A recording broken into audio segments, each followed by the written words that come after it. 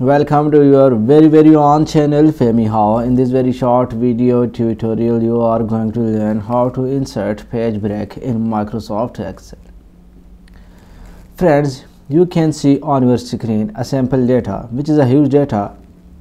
And if you observe there is only one page or, or one sheet on our screen. We want to break this sheet into pages. So how will we do it? Friends, before going to insert page break, if I want to print this sheet, you will see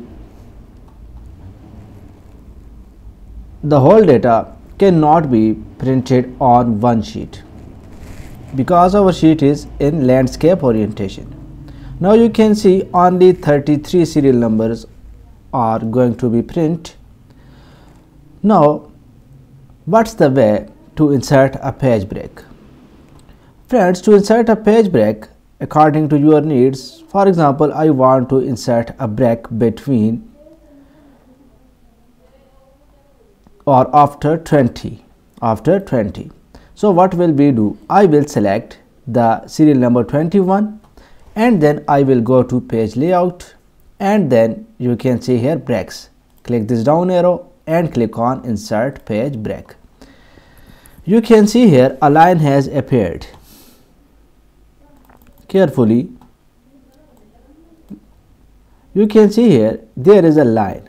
If I remove this break, you can see a line is disappeared. Now again when I insert page break, you can see a line has been appeared. Now if I go to print options,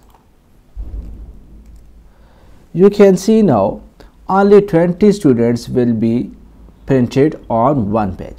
So friends, that's the very easy and simple way to insert page break in Microsoft Excel. If my video helps you in any way, please subscribe my channel and hit the like button. Thanks for watching. Thanks for your time. Take care. Goodbye.